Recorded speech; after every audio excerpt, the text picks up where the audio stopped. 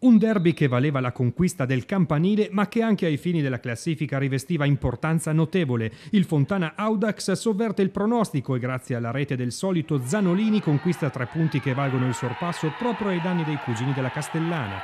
Al Soressi squadre bloccate in un primo tempo contraddistinto dalla tensione e dalla paura di perdere. Il primo brivido corre però lungo la schiena di Gagliardi che sembra comunque controllare con lo sguardo il diagonale mancino di Zanolini che sembra fare le prove in vista del gran finale.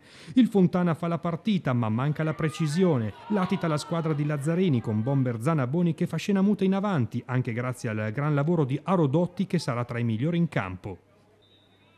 Nella ripresa mister Stefanelli cambia, dentro Zangrandi per Mazzini, ma soprattutto a metà frazione è tempo di esordio per il nuovo arrivo Ani. Centanni sfiora la marcatura con una bella girata nel cuore dell'area, ma al quattordicesimo si fa viva la Castellana con Arbit. I riflessi di Cavallaro sono al solito formidabili e lo 0-0 non si schioda. Il Fontana non si fa certo intimorire e ancora Centanni ci prova con il mancino. Al 33esimo la svolta, Zanaboni completa la sua domenica da dimenticare rimediando il secondo giallo di giornata, lasciando i suoi in inferiorità numerica. Prende avvio lo show di Ani, anche se i Granata appaiono in grado di reggere anche di fronte ai raid del giocatore africano.